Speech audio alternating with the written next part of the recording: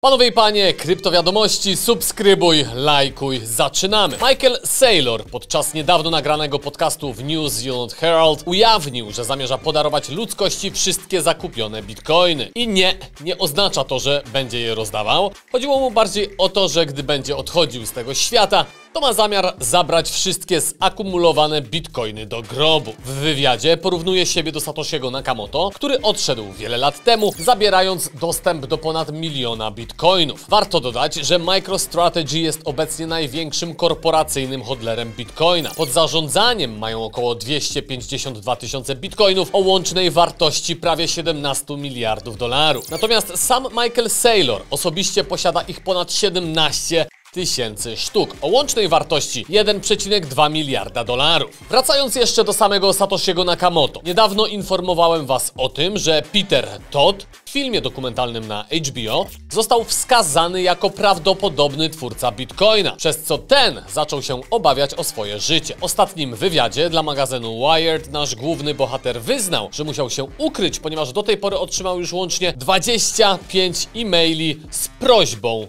o pieniądze.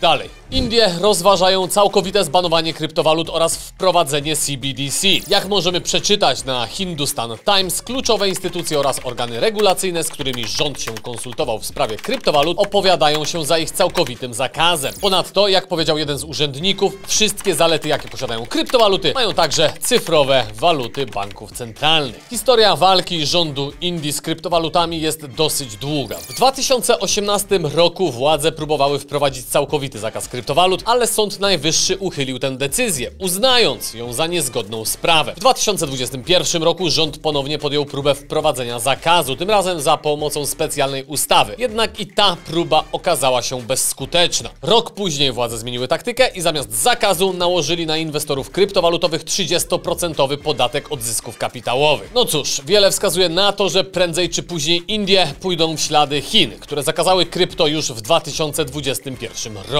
Dalej. Vitalik Buterin podzielił się niedawno na blogu nowym roadmapem rozwoju blockchaina Ethereum. We wpisie z 17 października opisał on aktualizację o nazwie The Surge, która ma docelowo zwiększyć skalowalność sieci ETH o ponad 100 tysięcy transakcji na sekundę, przy jednoczesnym zachowaniu podstawowych zasad decentralizacji i bezpieczeństwa. Jak na razie nie mamy konkretnej daty wprowadzenia tej aktualizacji, jest to raczej proces, który może potrwać kilka lat.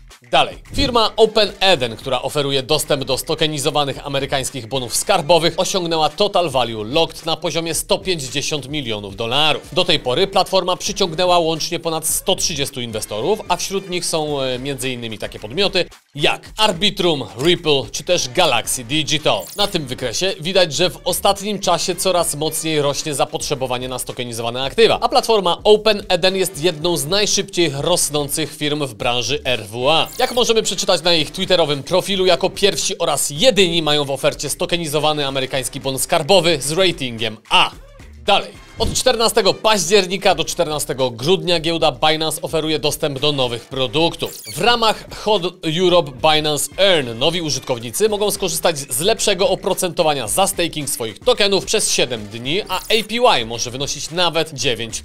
Wystarczy zakupić wybrane tokeny i zasubskrybować je w dziale produkty stałe w Simple Earn. Do tokenów, które obejmuje promocja należą m.in. USDC oraz Bitcoin. Link do giełdy Binance gdzieś tu oraz poniżej. Myślę, że warto. Subskrybuj, lajkuj. Nara.